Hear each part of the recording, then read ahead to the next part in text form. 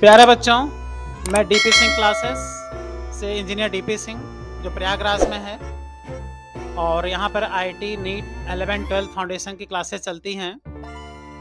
और आज बहुत ही शुभ दिन है कि हम लोग जो साल भर मेहनत करके पढ़ाते हैं मेडिकल और इंजीनियरिंग बच्चों को, जो कि बच्चे प्रिपरेशन करते हैं, और साल भर जो मेहनत का जो फल हम लोग को मिलता है, वो होता है सिलेक्शन और उसका आपको प्रमाण सीधे दिख रहा है कि भावना शर्मा यहाँ पर आई हुई हैं और ये पिछले साल हमारे वहाँ पढ़ती थी।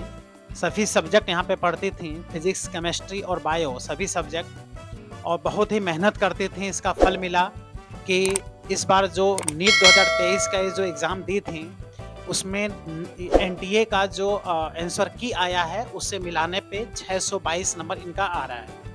तो 600 का नंबर से ज़्यादा जिसका भी नंबर इस बार आ रहा है, उनको कन्फर्म गवर्नमेंट कॉलेज मिल रहा है। और जिसका भी 600 नंबर के आ रहा ऊपर आ रहा है तो कन्फर्म गवर्नमेंट कॉलेज मिलने के कारण वो अपने सपने को पूरा कर रहा है। तो भावना शर्मा भी हैं, इनके डॉक्टर बनने का सपना था और आज इनका डॉक्टर बनने का सपना पूरा भी हो गया।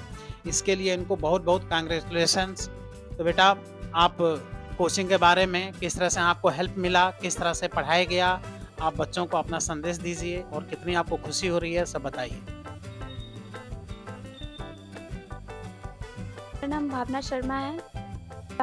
टू थाउज़ेंड में जो हुआ है तो एन की आंसर की आई है तो उससे मेरा मैच करने पे 622 मार्क्स आ रहे हैं। It's all because of D Singh classes क्योंकि जब ये स्टार्ट किया था पढ़ना तो फिर मुझे कोई आइडिया नहीं था कुछ भी। करना है। मुझे इतना पता था कि मुझे मेहनत करनी है और मुझे टीचर की गाइडेंस चाहिए तो उसके लिए टीचर थे, sir Mehtab sir Gyanesh sir, सारे सर ने सब्जेक्ट की टीचर इवन सपोर्ट किया है। हर टाइप से सपोर्ट किया इकोनॉमिकली पढ़ाई को लेके। मेरी हर समस्या को मतलब मुझे कभी भी प्रॉब्लम होती थी पढ़ाई में या किसी भी प्रकार की, मैं तुरंत सर से बताती थी अपनी प्रॉब्लम और सर उसका सोल्यूशन तुरंत मुझे देते थे। और फिर बहुत सारे स्टेप्स में, हर स्टेज में सर ने साथ दिया है। बस ये कि मैंने मेहनत किया, पर उसका गाइडेंस सर ने दिया है। क्योंकि उसका गाइडेंस मेहनत तो सारे लोग करते हैं, पर उसका गाइडेंस बहुत ज़्यादा ज़रूरी है। तो वो डी पी सिंह क्लासेस में प्रॉपर मिलता है।